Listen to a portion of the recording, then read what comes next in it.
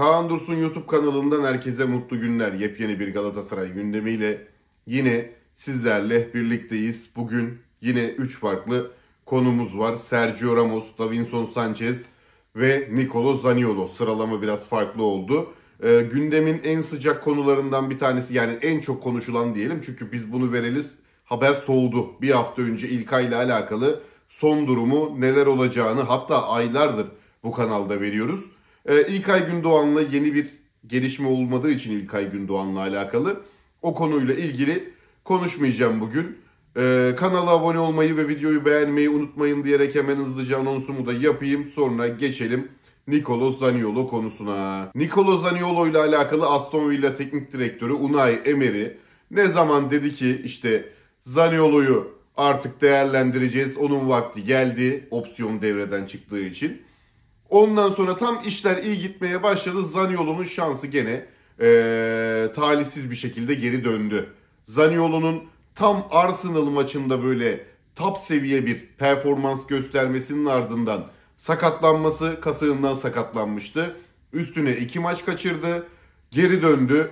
Şimdi de Liverpool maçında 65 demine girdi. 79'da geri çıkmak zorunda kaldı ve sol ayağında mikro kırık tespit edildi Nicolo Zaniolo'nun. Bu da tahmini bir ay sahalardan uzak kalacağı anlamına geliyor. Şimdi bu nasıl kötü haber anlamına geliyor? Birincisi Zaniolo'nun şu an yüksek ihtimal Euro 2024'ü kaçırması bekleniyor. Yoksa Galatasaray cephesinde de hani dışarıda da Zaniolo cephesinde de Euro 2024 sonrası güzel bir transfer yapması bekleniyordu Nicolo Zaniolo'nun. Burada tabii ki de sürece bakılacak ama yüksek ihtimalle şu anda en olası ihtimal Nicolo Zaniolo'nun Euro 2024'ü kaçırması piyasasının üstüne daha da piyasa yapar diye bekleniyordu sarı kırmızılı cephede ama bu kötü haber geldi. Zaniolo'nun da tabii ki de moralini bozdu bu durum. Çünkü Aston Villa'nın e, kendisine verdiği rol kapsamında kendisinin de hoşlanmadığı durumlar var. Tabii ki de sonradan oyuna girme e, opsiyonu alınacak dendi. Alınmadı. Burada Aston Villa da net bir şekilde artık Zaniolo'nun opsiyonunu almayacak diyebiliriz. Çünkü son dönemde göstereceği performansın üstüne bir de Euro 2024'te parlar mı acaba diye Aston Villa tarafında belki bir kafa karışıklığı olabilirdi ama o sayfada böylelikle kapanmış oldu. Aston Villa'nın da artık Zaniolo'nun bonservisini alması düşük ihtimal. Burada İtalyan ekipleri Fiorentina, Juventus, Juventus'u buradan özel haber olarak vermiştik. Bu ekiplerle alakalı gene sıcak gelişmeler olacaktır ama Euro 2024'te oynasaydı Zaniolo daha yüksek fiyatlar çekebilirdiniz. Juventus'la ilgili ne demiştim? 18 milyon euro satın alma opsiyonlu kiralık gibi bir düşünceleri var. Şu anda bütçe yaratırlarsa daha çok e, üst fiyata çıkarlar ya da direkt nakit satış için teklif yapabilirler. Bu seçim sonrası hatta işte Haziran'da transfer dönemi geldiği zaman Zaniolo ile alakalı en sıcak gelişmeler yaşanır. Şu an için Zaniolo ile alakalı maalesef gündem olumsuz.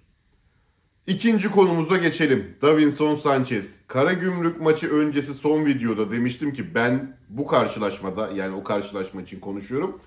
Davinson Nelson'un oynamasını bekliyorum. Çünkü yani kendi adıma bekliyorum. Çünkü Markao'yu durdurabilecek kapasitede bir futbolcu Davinson Sanchez benim adıma. Ve Abdülkerim Bardakçı'nın yaklaşık 3-4 haftadır bir performans düşüklüğü var. E Davinson Sanchez'e gel gelelim. Hadi maç eksikliği var okey falan onlar tamam da 5 maçtır bu adam yedek. Sakatlıktan döndü. Sonra Hatay spor maçı olması lazım. Kadroya alındı ama oynamadı. Ardından geri kalan 5 karşılaşmada 5 dakika, 10 dakika, 15 dakika Nelson'un yerine oyuna girdi.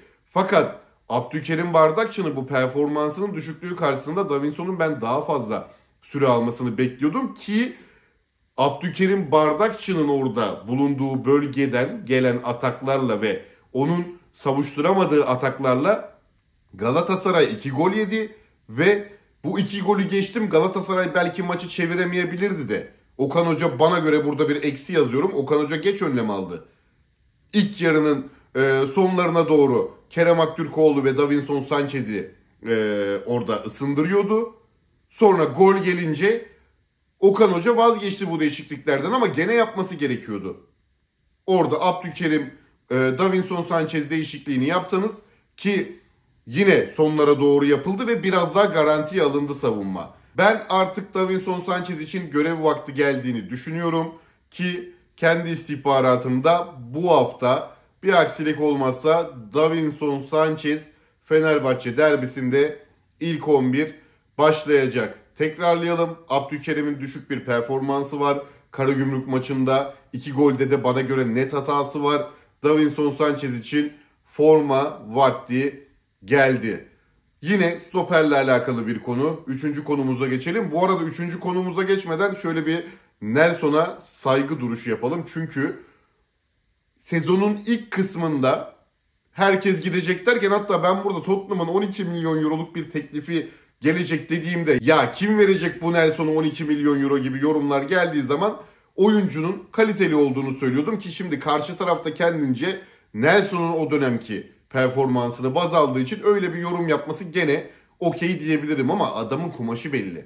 Şu anda Galatasaray şampiyonluk yolunda o kadar iyi gidiyorsa başrollerinden bir tanesi Victor Nelson'dur. Kendini toparladıktan sonra inanılmaz bir performans gösterdi. Nelson'a hemen şöyle saygı diyerek e, son kısma geçelim. Sergio Ramos, Davinson Sanchez alındı. Ramos seviyeye gitti. Geçen yazki transfer dönemi hikayesini hepiniz çok yakından biliyorsunuz. Ramos Galatasaray'da Şampiyonlar Ligi'ne kalınması durumunda gelecekti. Bizi de yalancı durumuna düşürdü sırf o yaptığı hamle yüzünden. Sevilla çocukluk aşkı olduğu için oradan yetişme bir e, oyuncu olduğu için orayı tercih etti ama şimdi Sergio Ramos'tan Galatasaray'a bir transfer sinyali var. Bu sefer olur şeklinde Galatasaray yönetimine bir mesaj var menajerinden. Fakat Galatasaray bu sefer geçen sezonki gibi Sergio Ramos'a sıcak değil. Sergio Ramos'la alakalı yazın eğer Galatasaray yönetimi okey verirse, Okan Buruk okey verirse ve stoperle alakalı bir veya iki ayrılık beklediğimi söylemiştim. Bu ayrılıkların gerçekleşmesi durumunda yineliyorum. Okan Buruk okey verirse Sergio Ramos için girişimler olur. 1.1 milyon euro civarı bir rakam kazanıyor Sevilla'dan. Bunun bir tık üstünü verebilirsiniz. Hani geçen sezon öyle 5 milyon euro mu ne yanlış hatırlamıyorsam. O civarda anlaşma okeydi benim bildiğim kadarıyla. Ee, bu sefer 1.1 kazanıyor Sevilla'dan. Parayı problem etmem dedi eski kulübüne. 2-2,5 milyon euro verirsiniz. Sergio Ramos'u getirirsiniz. Sergio Ramos hazır şu an tam o kıvamda. Galatasaray okey versin. Sergio Ramos'u gelecek sezon getirir. Peki sizler gelecek sezon Sergio Ramos'u ister misiniz diyerek sizlere de sorayım.